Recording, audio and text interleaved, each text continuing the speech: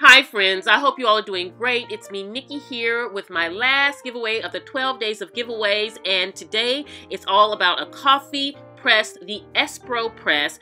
This is a little different from your traditional coffee press, and I love that about this one here is because it's the design is more friendly to keeping the coffee grinds out of your coffee because you know if you have a coffee press you know sometimes you can tend to get a little bit of the grinds um, mixed into the coffee well they have this basket design here which really keeps your coffee and loose leaf teas um, in place so that you can get all of the flavors, but you know, it doesn't mix with your water. And I love that. And the design is just really efficient.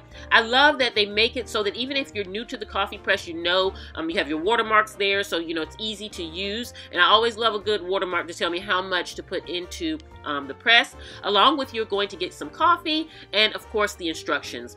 And what I will say is this is just a very well made press. It has a nice feel to it, a nice quality to it.